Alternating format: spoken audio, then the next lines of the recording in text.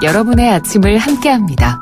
94.5MHz YTN 뉴스 FM 신율의 출발 새 아침.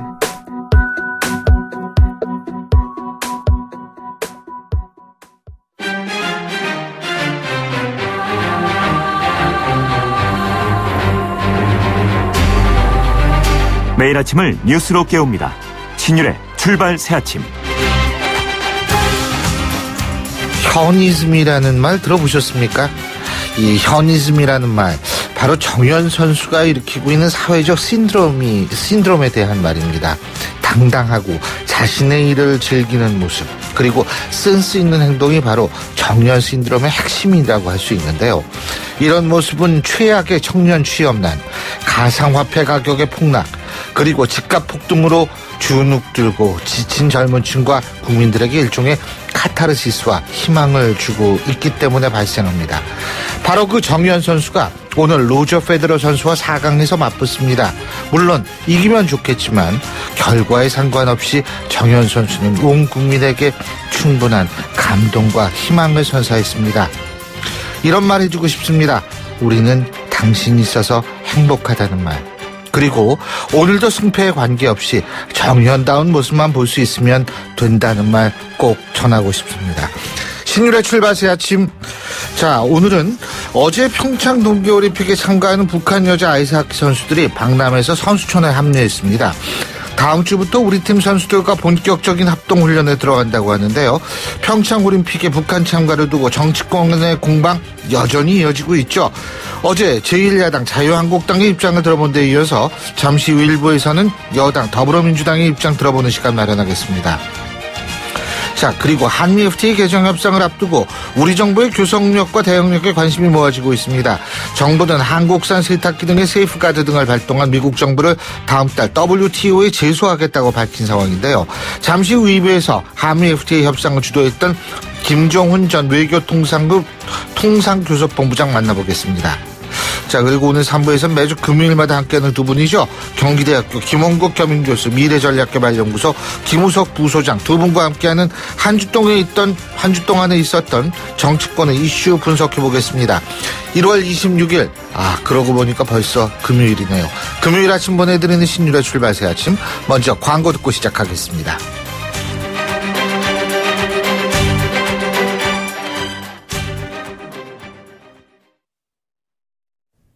YTN 라디오 신율의 출발 새 아침.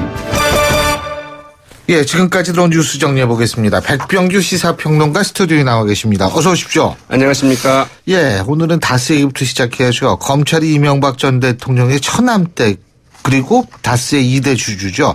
권영미 씨를 불러서 조사를 했는데 권영미 씨가 최대 주주로 알려진 자동차 부품업체 금강을 압수수색도 했죠. 그렇습니다. 이명박 전 대통령의 그 처남댁인 그 권영미 씨가 그 12시간에 걸친 그 강도 높은 검찰 조사를 받고 어제 밤 11시쯤 이제 귀가를 했는데요. 이 피의자 신분으로 이제 조사를 받았습니다. 예. 이권 씨는 그 2010년 그 이 전 대통령의 그 처남이자 그 다스의 집은 48.99%를 소유했던 남편 김재영 씨가 이제 사망을 하자 상속세를 이 다스 지분으로 이제 직접 냈거든요. 그래서 이 실소유주 논란을 이제 부른 인물이기도 한데요. 이 왜 대주주 자리를 내놓는 그 상속 방식 을 이제 채택했느냐가 이제 그 쟁점이죠. 그래서 예. 실소유주가 따로 있기 때문에 그랬던 건 아닌가 이제 이런 아하. 의혹이 있죠. 검찰은 그 어떤 이유에서 그 이 같은 그 상속 방식을 그 채택을 했고 이 과정에서 그 이전 대통령이나 그 청와대의 그 개입이 있었던 것은 아닌가 하는 점과요. 2010년 당시 그 상속세를 그 줄이기 위해서 2009년에 다스의 매출을 고의로 이제 그 축소 신고한 어, 혐의가 이제 이번에 그 직접적인 그 조사 대상이 했다고, 됐다고 하죠. 말하자면 그 탈세 혐의를 좀 받고 있는데요. 이 전날 그 이전 대통령의 그 친형이자 그 다스 회장인 그 이상은 씨의 아들 그 이동영 씨를 불러서 그 검찰이 또 조사를 했죠.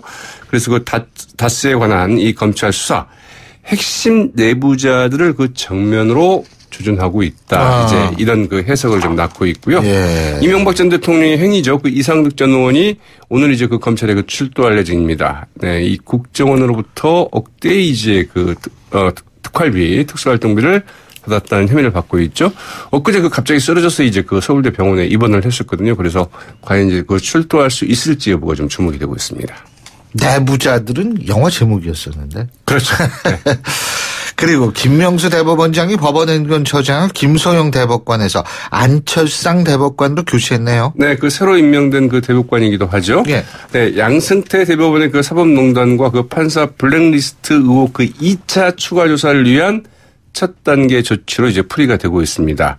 네, 김명수 대법원장은 그 엊그제 그 대국민 이제 그 입장을 좀 발표하지 않았습니까? 예. 여기에서 이 조사 결과를 보완하고 그 조치 방향을 논의해 제시할 수 있는 기구를 이제 그 조속히 구성하겠다고 이제 밝힌 바 있고요. 또 그 인적 쇄신 조치를 단행하고 그 법원 행정처의 그 조직 개편안도 마련하겠다. 이렇게 이제 밝혔었는데 이에 따른 후속 조치로 이제 풀이가 되고 있습니다. 이 사법부 그 블랙리스트 그 추가 조사 위원회는 그 이번 사태의 그 핵심 인물인 임정원 전 그 법원 행정처 이 차장의 이제 컴퓨터를 어, 이제 조사하려고 했지만, 그러나 그 법원 행정처의 그 비협조로 그 조사하지 못했었는데요. 이 법원 행정처장의 그 교체로 그 가능성이 이제 열렸, 어, 열렸다고 볼 수 있겠죠. 이번 그 법원 행정처장 교체는 또 법원 행정처 개편 등 그 제조 개선을 그 대비하는 측면도 있는 것으로 풀이가 되고 있습니다. 예. 자, 그리고 어제죠. 이 북한의 여자 아이스하키 팀 선수들, 어, 우리나라로 내려왔어요. 맞습니다. 북한 여자 아이스하키 그 선수단 15명, 이제 그 중에서 그 선수는 12명이죠. 어제 그 경의선 그 육로를 통해서 그 입경한 뒤에 그 곧바로 우리 선수들이 그 훈련 중에 있는 이 충북 진천의 국가대표 그 선수촌에 이제 그 짐을 풀었죠. 남측 선수단과의 그 상견례를 가졌고요. 네, 세라 머리 이제 감독의 그 오리엔테이션 등이 있었습니다. 그리고 어, 세리머리 감독은 이번 주까지는 그 남북 선수들이 그 따로 훈련을 아, 하게 한 뒤에 북한 선수들의 그 기량을 먼저 이제 체크해 본 다음에 다음 주부터 그 합동 훈련을 하겠다고 이제 밝혔죠. 북한 네 북측 선발대 방남 첫날에는 어제 그 곧바로 그 응원단 등이 이제 묵을 가능성이 있는 이 그 인제 그 숙소를 좀 둘러봤고요. 이어서 그 피겨 스케이팅과 그 쇼트트랙 그 경기 등이 열리는 그 강릉 아이스 아레나와 강릉 올림픽 선수촌도 이제 들러봤습니다. 아이스 하키 그 경기장인 그 관동 하키 센터를 찾아서 그 시설도 점검하기도 했는데 오늘은 평창의 동계 올림픽 시설과 북한 선수단이 그 참가하는 종목의 그 경기가 열리게 되는 알펜시아 크로스컨트리 센터 네. 그리고 용평 알파인 스키장 이제 살펴본다고 하죠. 어제 보니까 참 긴장을 했더라고요. 기자들 네. 막 물어보니까 감독 동무한테 물어보라고 이렇게 얘기를 하는데 자 근데 이 북한 아이스하키 선수들이 이제 패스하라고 패스하라고 이걸 뭐라 그러는지 아세요? 아, 그 용어가 좀 다르더군요. 그 러시아. 연락하라고. 열, 아, 그런가요? 네? 네. 패스 달라는 것이 연락하라고. 이게 그러니까 용어부터가 너무 생소해가지고. 네. 아이스하키 용어를 이제 많이 그 러시아 용어를 쓴다고 그러잖아요. 그래서 근데 연락은 뭐 좀- 러시아 용어도. 연락은. 이제 우리 이제 예. 말이 그죠. 예. 네. 네. 예, 그 용어부터 이제 통좀 이, 뭐 패스가- 익숙해지는데. 패스 연락 정도는 뭐 그대로 써도 뭐 이제 통하긴 할 것 같은데요. 뭐 그럴 수는 있죠. 네. 근데 그게 사소한 것. 예전에요.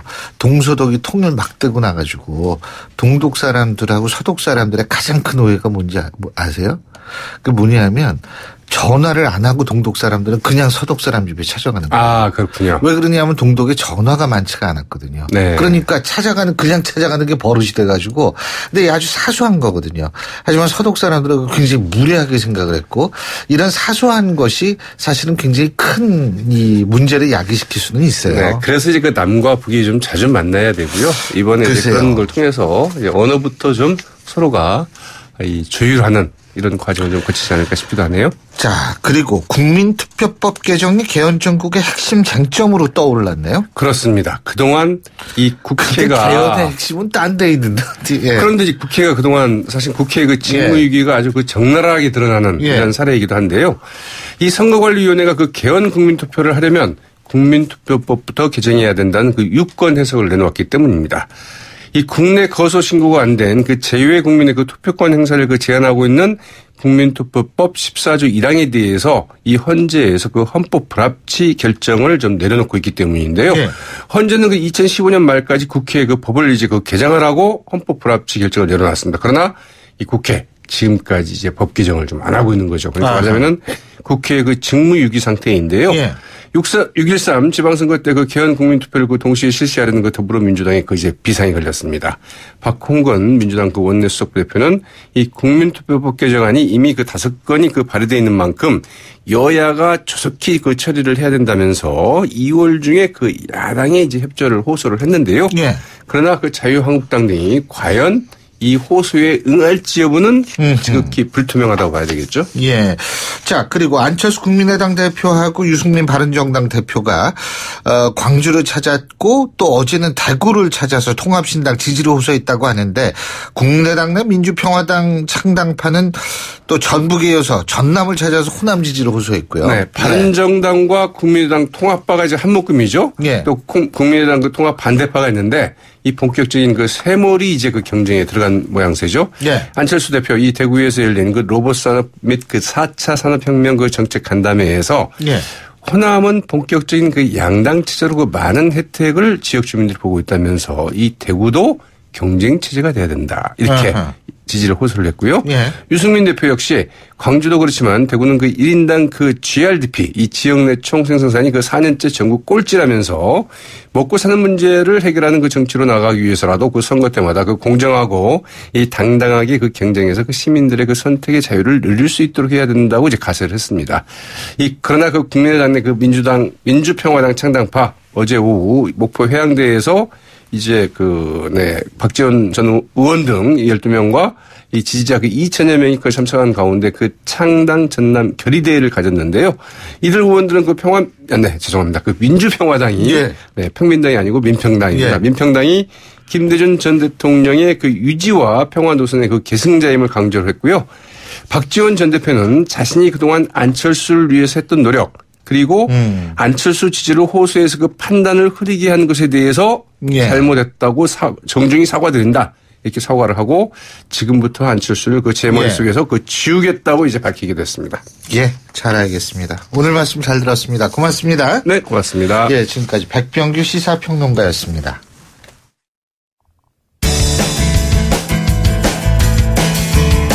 여러분은 지금 FM 94.5MHz로 방송되고 있는 신율의 출발 새 아침을 듣고 계십니다.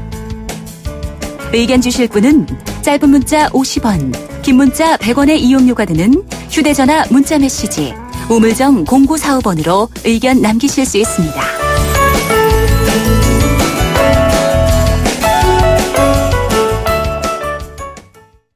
예, 저희가 방금 전에 뉴스 브리핑에서 평창 올림픽에 참가할 북, 북한의 여자 아이스 하키 선수단 방남했다. 선수촌에 합류했다. 이런 말씀 드렸죠. 어, 그래서 이제 어쨌든 뭐 남북 단일팀 만들기로 했으니까 동력을 최대한대로 끌어올려야 될 텐데 어, 그동안 남북 단일팀 구성으로 우리 선수단만 피해보는 것 아니냐 우려의 목소리가 나왔었거든요. 여러분도 물론 잘 아시겠습니다만 여당 내에서는 피해는 없는 걸로 확인됐다는 얘기가 나왔습니다. 어떤 얘기인지 직접 입장 들어보겠습니다. 국회 외통위 여당 간사를 맡고 있는 더불어민주당 김경협 의원 전화 연결하겠습니다. 의원님 안녕하십니까? 예, 안녕하세요. 예. 김경협입니다. 우리 선수들 피해는 없는 걸로 확인됐다. 우리 김경협 의원께서 이런 말씀하셨죠. 예, 당초에 예. 에, 올림픽 여자 아이스하키 팀 남북 단일팀을 구성을 하게 되면은 우리 선수들이 출전 기회를 박탈당한다라고 하는 문제가 제기가 됐었어요. 예. 그래서 확인을 해봤더니 우리 선수는 단 한 명도 출전 기회를 박탈당하는 일이 없습니다. 왜 그러냐면은 예. 에, 이번에 IOC에서 북한 선수들 12명을 추가 TO로 인정을 해준 거거든요. 예. 그래서 당초 우리 선수 23명 전원이 올림픽에 참가를 하게 되고 출전 기회가 주어지게 됩니다. 아, 근데 저기 잠깐만요. 제가 좀 예. 확인할 게 있는 게 출전이라는 게 벤치에 앉아 있어도 출전하는 거죠. 음, 일단 출전에 선수단 명단에 중요 들어가는 게 중요하고요. 물론 이제 그 자리에서 경기에 직접 뛰느냐 안 뛰느냐는 그 당시에 이제 감독의 지시에 의해서 이루어지겠죠. 그러니까 이제 모든 우리나라 선수들이 다 뛸 수 있다. 지금 아이스하키가 4개 조인가요? 5개 조인가요? 음, 지금 뭐 조는 제가 잘 정확히 잘 모르겠습니다. 아니요. 아이스하키 경기 팀을 꾸릴 때 제가 하는 예. 것은 일반적으로 5개 조 정도를 편성을 해가지고서 돌아가면서 그 체력 소모가 많잖아요. 그래서 돌아가면서 투입하는 걸로 알고 있거든요. 아, 그런데 그 조가 전체가 바뀌는 게 아니고요. 아, 그 이제 공, 아, 잠깐만. 경기 공격 4개조, 수비 3개조라고 하거든요. 그래서 이거 아. 교대로 이제 투입을 한다라고 얘기를 하는데, 예. 거기에서 예를 들면은, 그러니까 대충 우리가 그 명단에 들어가 있는 선수들은 대충 그 조에 들어가 있기 때문에 다 투입이 된다 이런 얘기거든요. 음, 예, 예. 예, 예. 그런데 지금 어차피 그 명단에서 우리 선수들이 다 들어가 있고 북한 선수들 다 들어가 있다라고 하더라도 조의 숫자는 바뀔 수 없는 거, 어, 없는 거 아니에요. 바꿀 수. 그렇기 때문에 결국은 출전과 이거는 다른 거 아니겠어요? 그 벤치 앉아 있어도 물론 뭐, 저, 그 참가는 한 걸로 돼 있겠지만. 그러니까 지금 어, 이 단일 팀이 최소 다섯 경기를 지금 치를 예정입니다. 물론 이제 예. 경기 결과에 따라서 경기가 더 늘어날 수도 있는데요. 예. 그런데 매 경기에 22명의 엔트리를 구성을 하는데 여기에 예. 북한 선수 3명이 포함되기 때문에 에, 23명만 출전했을 때보다 출전 시간은 다소 이제 그 조정될 수는 있죠. 그런데 전원이 경기에 출전할 수는 있는 것이고요. 그다음에 아이스하키 경기의 이제 특징상 한 명의 골키퍼를 제외하고 수비와 공격에 따라서 수시로 선수 교체가 이루어지기 때문에 출전 시간도 경기 상황에 따라서 이제 달라지게 돼 있습니다. 예. 그런데 이제 당초에 이제 지금 현재 그 제기가 됐던 것은 북한 선수단의 합류로 인해서 우리 선수들이 그 티오에서 마치 예, 탈락해서 출전 기회가 아예 없는 것처럼 이제 이렇게 얘기가 됐기 때문에 예. 그것은 사실이 아니다 이런 얘기입니다. 예. 그러니까 어쨌든 그 그러니까 뭐 엔트리는 엔트리 숫자는 는다고 국민들이 다 알았잖아요. 그죠? 예? 예. 그건 뭐 IOC에서 그래서 이제 우리 김경협 의원님 말씀은 엔트리가 이 숫자가 늘어났기 때문에 우리 선수 불이익은 없다 이거고 그죠? 이 문제하고 또 실제로 이 빙- 아이스하키 경기장에서 뛸 수 있느냐 하는 문제는 그거는 좀 별개다 이렇게 이해해도 되겠습니까? 음 그러니까 우리 선수 들어가 있다고 스물- 다 뛰는 건 아닐걸요? 그런데 그거는 예. 우리 선수 23명 중에서도 그것은 직접 경기에 투입하느냐 안 하느냐는 감독의 재량 아닙니까? 그 부분을 예. 조금 더 확인을 한 다음에 제가 나중에 여쭤볼게요. 아, 그것은 그렇게 되기 때문에요. 이게 조별 조로 바꾸기 때문에 이게 예를 들면 기회가 다 주어져 있는 건 사실이죠. 예 글쎄요 예. 제가 그, 그 부분은 아이스하키 룰이 좀 축구나 이런 거하고 좀 다르다 그러기 때문에 저도 아이스하키 음. 잘 모르거든요. 그래서 네. 그 부분은 이제 좀 더 알아본 다음에 제가 나중에 다시 한번 여쭤보겠습니다. 자 그리고 지금 어쨌든 단일팀 구성할 때 선수들의 의견이 먼저 수렴되지 않았다 이런 얘기들이 주로 비판의 핵심인 것 같아요. 유인태 네. 전 수석도 이번 정부가 잘못했다 이런 지적을 했는데 이런 지적은 어떻게 생각하십니까?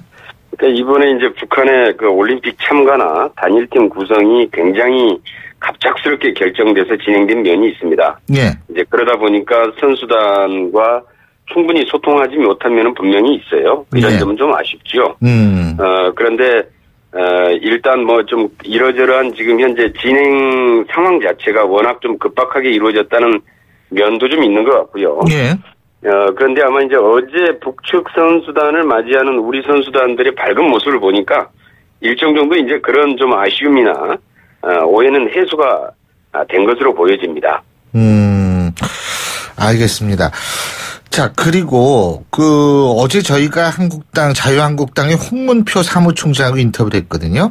올 네. 올림픽을 앞두고 이제 정적 공방이 오가는 부분에 대해서 비판적인 시선이 있다 이런 얘기를 하니까 질문을 하니까 신상이 제대로 드러나지 않은 현성으로 국빈 대우해 주는 데 대해서 국민들이 분노한다. 흑막에 가려져 있는 부분이 있다. 남북 단일팀 같은 것도 평양의 지시에 따라 움직이는 것 아닌가 염려된다. 이런 얘기를 했는데요. 이 부분에 대해서 어떤 말씀 주시겠습니까? 그 자유한국당은 당 대표부터 시작해서 전체적으로 아무 말 대잔치를 지금 하고 있는데요. 어, 현송을 그 단장에 국빈 대우를 해줬다. 예. 국빈을 버스에 태우고 열차에 태워서 이동시킵니까? 그런 건 억지로 만들어낸 말이고요. 예. 그 다음에 하나는 그 남북 단일팀을 뭐 평양의 지시에 따라서 움직인다. 그 음. 최소한 좀 말을 가려서 해야 됩니다. 정말 막말입니다. 이거는. 예. 어, 그러면은 자신들이 집권했던 시절에 남북 단일팀 지원법을 만들 때도 평양의 지시를 받아서 만들었다는 얘기입니까? 음. 그렇게 얘기하면 안 되죠. 예. 예, 너무 심하잖아요. 예, 예. 자, 그리고요. 또 한 가지는 뭐냐면 평창 올림픽 지원 특별법이라고 있잖아요. 이게 예. 이제 이 지금 더불어민주당 측에서는 2011년에 아마 이 법이 만들어졌을 겁니다. 그죠? 국회를 통과했을 겁니다. 정확히 연도는 제가 2011년 맞, 맞, 맞습니다. 이명박 정권 때고요. 그래서 이제 더불어민주당 쪽에서는 이거 저 한나라당 정권에서 만든 특별법인데 어 지금 와서 딴소리 하느냐 이런 얘기를 하는데 자유한국당 측에선 그때하고 지금하고 남북 관계가 어떻게 비교가 되느냐 상황이 너무 달라졌다 이런 얘기를 합니다. 어떻게 보십니까? 당시에도 북한은 핵미사일 개발을 계속하고 있었고요. 예. 본질적인 상황은 달라진 게 없습니다. 음. 물론 그 정도가 심해진 건 있죠. 예, 그러나 그게 지금 현재 핵미사일 개발이 고도화되었다고 그래서 IOC가 북한의 올림픽 참가를 금지시킨 건 아니잖아요. 예, 어, 참가시켰고 지금 문제는 우리가 지금 남북 관계가 이렇게 악화돼 있기 때문에 오히려 올림픽을 계기로 해서 한반도의 긴장을 완화시키고 전쟁의 위기를 낮추는 이런 계기로 활용을 하는 게 중요한 것이죠. 음. 그 지금과 같은 때일수록 오히려 더 어, 단일팀이나 어, 북한의 올림픽 참가가 더 중요하고 이러한 면들을 존중해서 IOC에서도 적극적으로 노력을 했던 것이고요. 예, 전 세계가 지금 한 달 전과 비교를 하면은 불과 한 달 전까지만 해도 어 한반도 긴장이 최고조로 달했고 어 전쟁 위기 때문에 외국 선수단들이 참가를 하느냐 마느냐를 망설이고 있었다는 상황이란 말입니다. 예, 이런 상황에서 올림픽이 제대로 치러질 수 있겠어요? 음, 그런데 지금 이제 불과 지금 이제 얼마 안 됐습니다만은 북한이 올림픽 참가를 결정하면서 지금 남북 대화가 진행이 되고 한 라인이 개설되고 예 이런 면들을 이런 면들을 봤을 때 지금 남북 관계가 이런 정도로 지금 이 화해 평화의 분위기로 가고 있는 것 자체는 대단히 중요하고 전 세계가 또 기원하고 있는 문제입니다. 예, 근데 이상하게 그 우리나라의 국내에서 자유한국당 소위 얘기하는 수구 세력만 이 문제에 대해서 계속 시비를 걸고 문제를 어. 삼고 되뿌리기를 하고 있는 것 같은데요. 아마 뭐 다른 뭐 정치적인 이유가 있는 것으로 보여집니다. 어, 다 그런데 어떤 거요? 예. 지금 현재 그 국정원의 특활비 문제, 사적 예. 유용, 어, 국가 안보 예산을 지금 사적으로 탕진한 문제 때문에 음, 자유한국당이 굉장히 지금 공경한 위치에 처해 있지 않습니까? 그걸 아마 덮으려고 그런다. 공격을 최선의 방어다라고 생각하는지 아하. 모르겠는데요. 예, 예, 이런 식으로 해서 그 자신들의 그 이 부패 혐의를 음, 좀더 무마시키겠다 아. 이런 생각이 아마 충분히 가지고 있는 것 같은데 예, 지금 올림픽은 여야 간의 문제도 아니고 정쟁의 대상도 아닙니다. 예. 그래서 어제도 아마 우리 당에서도 어, 올림픽 기간 동안 정쟁을 중단하자 이런 예. 제안을 했는데 예, 또 자유한국당 원내대표께서 적폐 수사를 중단해야 뭐 협조할 수 있다 이렇게 얘기를 하더라고요. 예, 저는 그 얘기 들으면서 깜짝 놀랐는데 어, 아니 그러면은 지금 적폐 수사를 계속하면은 올림픽을 계속 방해하겠다는 얘기입니까? 어, 저 깜짝 놀랐어요. 어떻게 이런 얘기가 가능한지. 예. 올림픽이 지금 여야의 문제가 아니잖아요. 전 국민적 사안이고 음. 세계적인 축제인데 그렇죠. 예, 예. 이건 여야를 떠나서 성공시켜야죠. 예. 지금 그래서 이제 북한이 그 우리 남북 관계가 개선됨으로써 한반도의 평화적 분위기가 조성됐다 이런 말씀 하셨는데요. 근데 네. 이제 북한이 2월 8일 날 열병식을 하는 것은 사실 아니겠습니까? 군사 퍼레이드로요. 예. 그리고 일각의 보도에 따르면 뭐 ICBM, SLBM이 등장하는 거 아니냐 이런 얘기도 나오고 있고요. 그래서 어제 보니까 자유한국당 쪽에선 부- 우리가 우리 정부가 북한의 열병식 중단 요구를 하- 해야 된다 이런 주장을 하거든요. 어떻게 보세요 이거에 대해서? 그러니까 이제 자유한국당의 주장을 봤더니 예. 올림픽 개막식에 맞춰서 네. 어, 북한이 일부러 2월 8일로 건군절 어, 행사를 잡고 어, 올림픽의 개막식을 방해하거나 여기 여기에 찬물을 끼얹기 위해서 하는 행사가 아니냐 예. 이제 아마 이런 주장 같습니다. 음. 그런데 이것도 좀 사실을 확인을 해봤더니 예.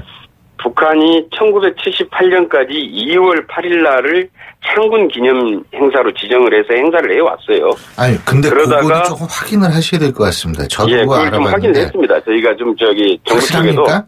예 확인을 했고요. 예. 그리고 이제 다 확인을 했는데 그 다음에 이제 그리고 나서 어 그 김일성의 백두산 항일 유격대를 4월 25일 날 이제 맞습니다. 만드는 시점으로 어그 그 잠시 그렇게 해서 넘어갔다가 예. 다시 아마 이제 이걸 분리시켜서 예. 어참 인민군 창군 창군 기념일을 2월 8일 날로 2015년도부터 기념을 해오고 있습니다. 그러니까 이번에 올림픽 때문에 예. 2월 8일 날로 바꿔서 한 게 아니라 어, 참 아, 이미 3년 전부터 어, 그렇게 해서 2월 8일 날로 행사를 해오고 있, 는 문제이기 때문에 이것은 이제 올림픽을 겨냥해서 올림픽 개막식에 맞춰서 바꿨다라는 주장은 사실이 아닌 것 같고요.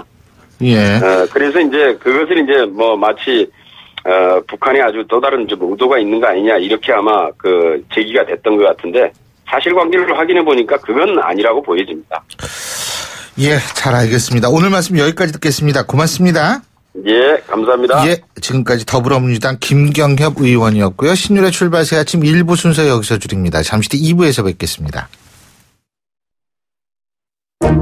소통의 아침을 여는 공정한 목소리. 신율의 출발 새 아침. 신율의 출발 새 아침 2부 순서 먼저 광고부터 듣겠습니다.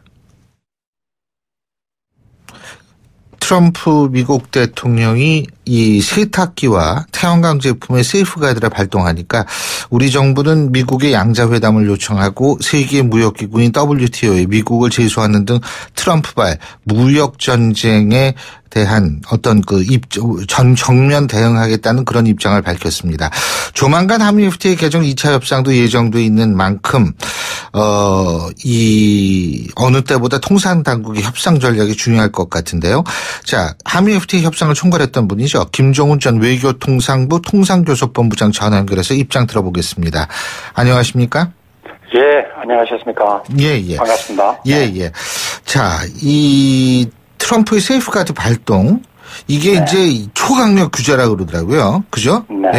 네. 이거 네. 어떻게 생각하십니까? 예, 말씀하신 대로 이 굉장히 규제가 이 강력한 건데요. 예.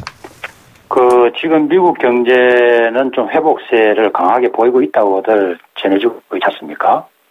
그 경제가 좋아지면은 예. 뭐 우리의 수출도 좀 늘어나고 예. 그쪽에서 수입도 좀 늘어나고 해야 될 텐데 예. 작년 재작년 이렇게 쭉 최근의 트렌드를 보면 예. 우리의 대미 수출이 계속 좀 줄어들고 있어요.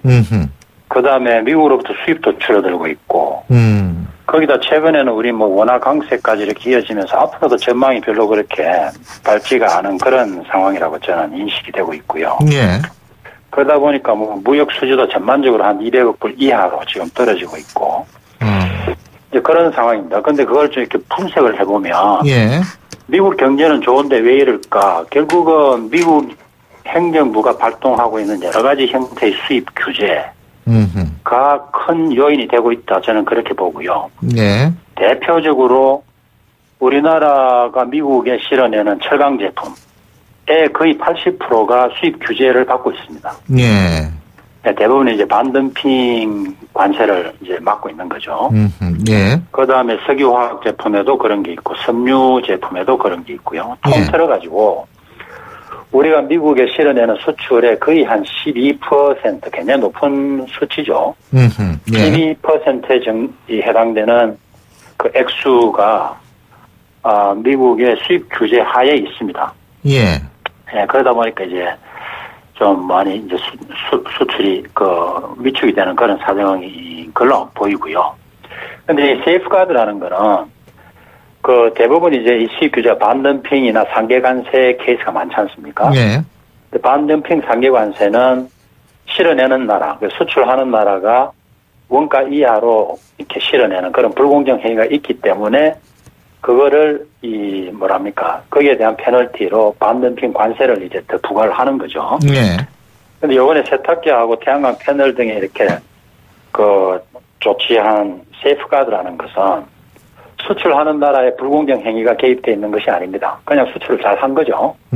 예. 근데 그 수출이 그 상대편 입장에서 수입이 급증이 돼가지고 예. 그 단순히 급증된 이유 때문에 자기 나라의 해당 산업에 심각한 피해가 있었다. 그 피해를 구제하기 위해서 수입 규제를 긴급하게 하는 거거든요. 예. 그래서 이거는 잘 발동이 안 되는 겁니다. 사실 뭐 언론에 알린 대로 미국이 세이프가드를 발동한 거는 한 16년 만에 처음이거든요. 예. 그래서 흔히 발동되는 반덤핑 뭐 관세나 이런 것보다는 흔하지 않은 케이스를 이번에 발동을 시킨 거죠. 지금 중국하고 우리한테만 발동한 거죠? 그렇습니다. 예. 그죠? 근데 이게 예. 그뭐 중국하고 우리를 딱 꼬집어서 한 건 아니고 예. globally 상대를 한 건데 결국 그 제품을 실어내는 나라들의 그 아하, 대부분이 태양광은 중국이고 세탁기는 우리 게 주종이었다. 예. 나 하다 보니까 이제 그렇게 포커스가 된 거지. 사실은 우리를 targeting을 한 건 아니죠. targeting은 아니다 이렇게 생각하시는군요.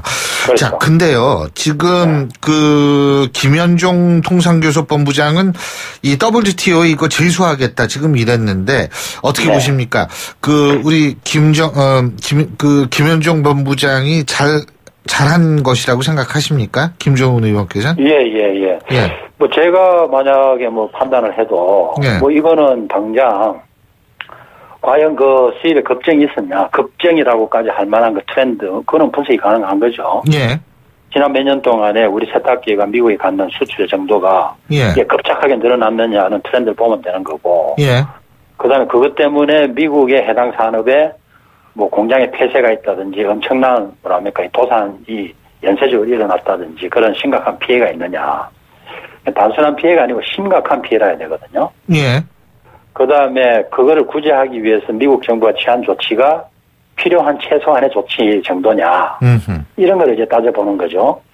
근데 제가 봐도 조금 이거는 이 좀 지나치다. 그 판단할 수 있는 여지가 많이 있는 것 같아요. 음. 그래서 그런 거는 뭐 우리가 그냥 뭐 이거 지나친데 하고 끙끙 앓을 게 아니죠. 예. 어, 서로가 서로가 가입이 돼 있는 WTO 예. 해결 제도가 있기 때문에 뭐 아주 쿨하게 그쪽으로 가져가 가지고 따져보는 거는 그건 당연히 해야 될 일이라고 생각이 됩니다. 어떻게 그 WPTO에서 어떻게 제소를 해가지고 우리한테 좀 유리한 결정이 내려질까요?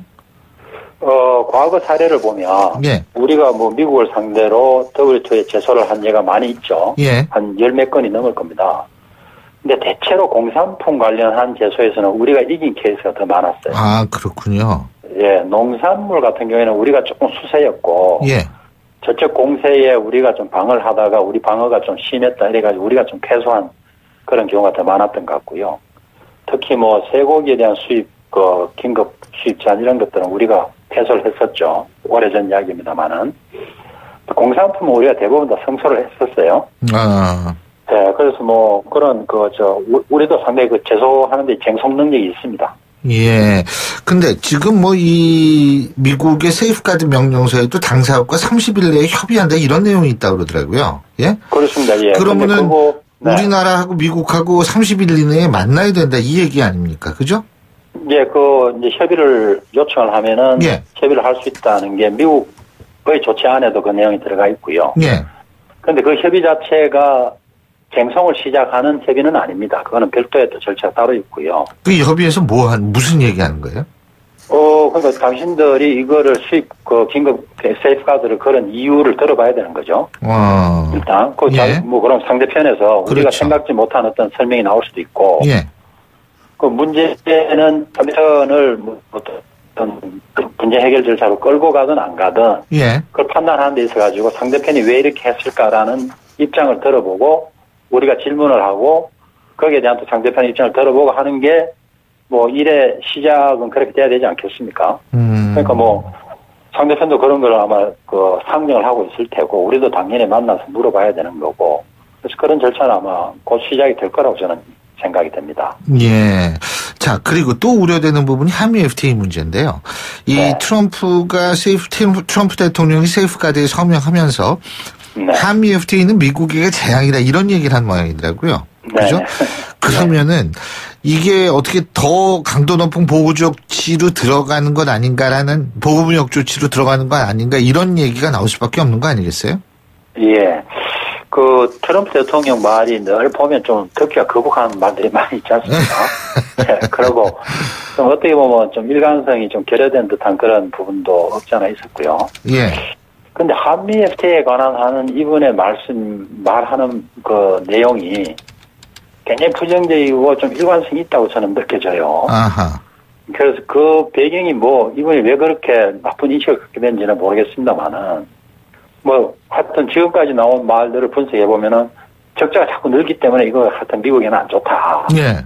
이제 지- 그런 인식이 머- 머릿속에 굉장히 강하게 그 각인이 돼 있는 것 같아요. 예. 그 뭐 그런 연장선에서 보면은 아마 뭐 이게 마지막도 아니고 뭐 앞으로도 계속 좀 공세적으로 나올 가능성이 있지 않겠느냐고 전제를 하고 우리가 좀 대비를 할 필요는 있겠다고 생각이 되네요. 그 대비를 한다는 건 결국 한미 FTA 재협상에서의 어떤 그런 대비 말씀하시는 거예요? 그렇습니다. 지금 뭐 어차피 지금 개정 협상의 장은 열려 있지 않습니까? 예. 그러니까 그거는 뭐 앞으로도 만나고 뭐 2차 협상도 곧 한다는데 예. 그러면은 이렇게 불거져 나오는 여러 가지 이슈들을 그쪽 안으로 좀 수렴을 해가지고 예. 기왕에 열려 있는 그 협상의 장에서 뭐랍니까 이 좀 가지칠 것은 가지치고 서로가 필요한 부분에 좀 포커스를 두고 솔루션을 찾아야 될 부분은 서로 좀 이 뭐랍니까 이 좀 집중을 해가지고 문제 해결을 좀이 모색을 하는 그런 쪽으로 가야 조금 이게 어지럽게 진행되는 것들을 우리가 좀 정리하면서 갈 수 있지 않겠냐 그런 생각이 듭니다. 자, 필요한 부분은 우리가 필요한 부분은 뭐고 미국이 요구하는 거는 철강하고 자동차인가요? 뭐예요, 지금? 철강은 이미 아까 말씀드린 대로 굉장히 많은 부분을 이미 수입 규제 하에 있고요. 예. 아마 더 이상 철강 가지고 뭐 할 정도까지는 아닐 거다. 뭐 예, 이미 이미 거의 다 걸려 들어가 있죠. 예. 그 다음에 석유화학 제품도 뭐 상당 부분 그렇게 돼 있고. 예. 그 다음에 한미 개정 협상에서는 뭐 미국이 늘 알려진 대로 자동차하고 자동차 부품을 하여튼 제일 중점적으로 다루려고 한다. 그럼 자동차는 이제 그 안에서 논의가 될 테고요. 네. 그 외에 지금 뭐 이렇게 좀 국민들께서나 언론에서 좀 걱정하는 게 그 외에 무슨 뭐 냉장고다 백색 가전들 음흠. 또는 반도체 요즘 우리가 뭐 잘 나가는 반도체 예. 뭐 이런 것까지 불똥이 뛰면 아 이거 정말 좀 심하겠다는 그런 우려들이 뭐 계신 것 같아요. 예. 근데 그거 뭐 지뢰 급을 낼 부분은 아닌 것 같고요. 예. 네, 그, 뭐, 결국, 어, 이, 미국이 어떤 형태로 우리에게 좀 우리가 보기에 좀 거북한 그런 조치들을 계속 취해 간다는 거는 아까 예. 말씀드린 대로 우선 첫째는 기왕에 열려 있는 한미 FTA 개정 협상 쪽에서 우리가 수렴해서 거기서 예. 논의를 해가는 게 필요하겠다. 첫째고요. 예. 둘째, 이게 통상 문제고 처음에 다룰 때는 예. 통상 당국 간에 다루지만 알겠습니다. 결국 이게 끝까지 올라가가지고 대통령의 예. 의견다가 되면은 예. 양국 행정부의 전반적인 그 역할들이 종합적으로 복합적으로 반영이 예. 되거든요. 아하. 그렇다면은 좀 한미 관계를 아주 좀 뭐랍니까? 알겠습니다. 이 동맹의 가치를 좀 높이는 예, 예, 예. 그런 형태로 좀 소중하게 관리해 갈 필요가 있겠다. 예. 그런 생각입니다. 오늘 말씀 잘 들었습니다. 고맙습니다. 예, 고맙습니다. 예, 지금까지 김종훈 전 외교통상부 통상교섭본부장이었습니다. 2부 순서는 여기서 줄이고요. 잠시 뒤 3부에서 뵙죠.